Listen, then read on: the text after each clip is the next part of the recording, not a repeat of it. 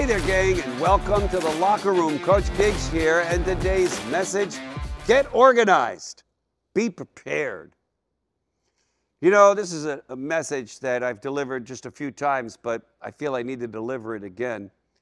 Before I start every one of my days, I have a list of things that I need to get done for that day. I have A, priorities, which are things I got to get done today, B, which I could get done the next two days, and then C, I got to get it done by the end of the week.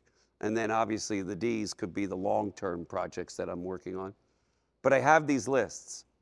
I get organized before I start each day.